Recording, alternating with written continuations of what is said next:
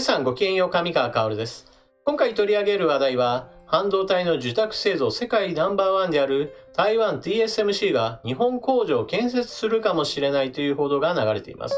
今回はその重要性などについて解説を行っていきます。半導体といえばまあかなりざっくりな話ですが、例えばスマートフォンの心臓部がこれにあたります。例えば、アップルが発表会などを行って新しいチップができましたよ。新しいチップになったことにより、より高性能なものになりましたよという話をしたときに、それは半導体の製造技術が上がったことなどが大きく性能向上に寄与しています。その他半導体というのはパソコンの心臓部であったり、インターネットを支えるサーバーの CPU だったり、もしくはゲーム用のグラフィックボードなどにも対応されていますし、その他にもメモリや SSD の中身など様々な分野に半導体は用いられています。それら半導体を作っている世界三大メーカーが今回登場する台湾 TSMC、そして韓国サムスン、アメリカインテルのこの3社です。この三大メーカーの一角である台湾 TSMC が日本に工場を作るかもしれないというので半導体業界にとっては非常に重要なニュースとなっています。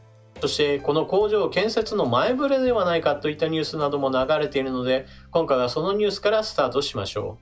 う。TSMC つくばに開発拠点先端半導体で日体連携半導体受託製造世界最大手の TSMC が2021年内にも茨城県つくば市に先端半導体製造の技術開発センターを新設する計画が分かった。日本の製造装置、素材メーカーと共同開発に乗り出す。また、北九州市を有力候補として2025年をめどに工場建設を検討する。日本政府も支援する。第5世代通信 5G や人工知能 AI に使う先端半導体は米中貿易摩擦の主戦場であり、関連産業の強い日本の立地優位性が見直されつつある。TSMC は、つくば市に先端半導体の微細化やパッケージ技術の共同開発拠点を作る。東京エレクトロンやスクリーンホールディングス、信越化学工業、JSR などが参画するとみられる。また、産業技術総合研究所、産総研や新エネルギー産業技術総合開発機構 NEDO も協力する。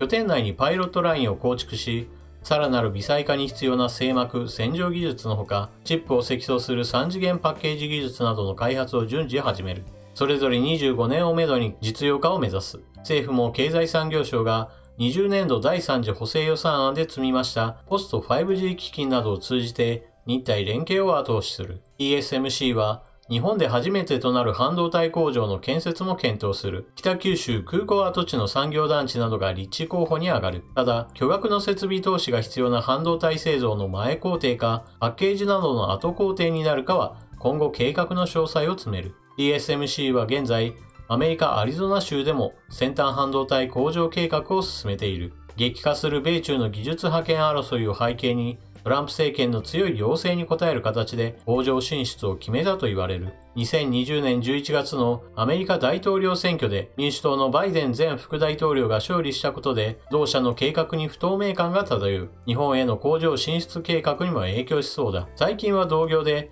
中国最大手の SMIC が急速に力をつけてきた。ライバルを突き放したい TSMC と先端半導体を国産化してアメリカなどと対中包囲網を形成したい日本の思惑は一致している。私のチャンネルでは半導体の話をするときにこの TSMC の名前が出るのですが、改めてその基礎情報などを見ていきましょう。TSMC は半導体の製造請負をしている会社で、売上高はざっくり言えば年間で4兆円ほどあります。大口の顧客としては Apple が iPhone に載せるチップなどを作っていますし、また AMD からはパソコン向けやサーバー向け、さらにはゲーム機である PlayStation シリーズや Xbox などにも半導体を供給しています。また現在ではその顧客からは外れましたが、以前はファーウェイも大口の顧客でした。現在はアメリカの制裁もあり、この新規の受注については停止しています。そして記事の中で触れられていた日本に工場を建設するかもしれないという話の中で前工程ではなく後工程ではないかといった指摘がされていました。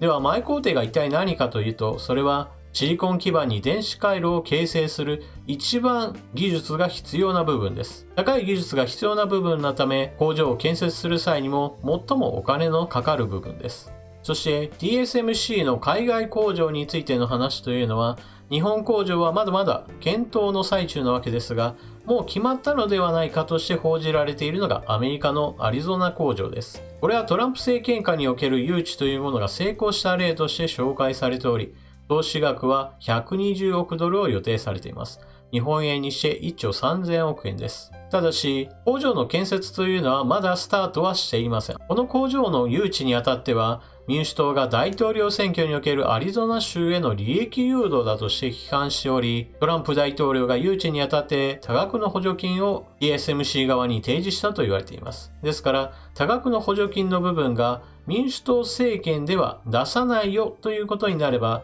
この工場の建設計画は立ち消えになる可能性があります。台湾 TSMC が日本工場を建てるよということは、まだまだ検討段階であり、決定事項ではありません。しかし、開発研究センターを建てるからには、いずれ工場を建てるだろうという話にはかなり信憑性があります。日本の報道ではこの工場というのはあくまでも後工程ではないかと言われていますが、おそらくその部分については残念ながら当たるでしょう。というのも、今回紹介した記事で少しだけ触れられて私も補足しましたが、アメリカに工場を建てる計画というのも同時に進行しています。こちらの方はアメリカのトランプ大統領が米中冷戦下における技術覇権をめぐる戦いにおいて TSMC がアメリカに工場を持つことが非常に重要だとしました。そういったこともあって誘致にあたっては多額の補助金を約束しておりこの補助金というものを受けるのであれば TSMC としても台湾ではなくアメリカに工場を持つことにある程度応じる形となったのです。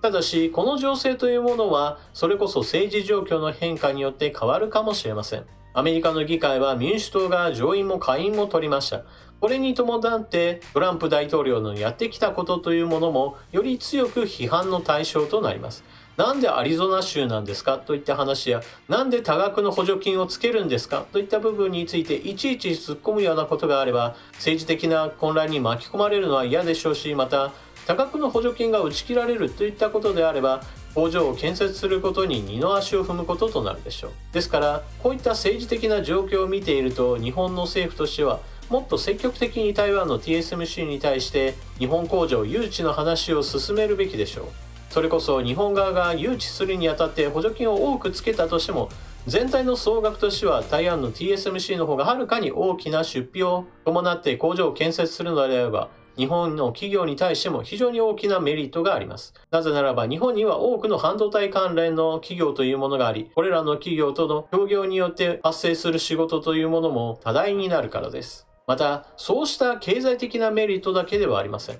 それこそこのチャンネルでは何度となく米中冷戦の話をしてきましたが、この米中冷戦構造の中において一つ冷戦で済まないかもしれない問題というのがあります。それは台湾情勢です。台湾については中国の習近平国家主席はこの台湾について独立の動きを強めるであれば台湾に対して軍事的な圧力をかけることを厭わないことを公言しています。ですから台湾については冷戦ではなく冷戦の一歩先である軍事衝突といったものも起こり得るのです。そういった未来の危険性を考えれば台湾の中だけで工場があるというのは一つ安全保障上においても経営上においても十分リスクとして考えられます。そして日本政府はそのような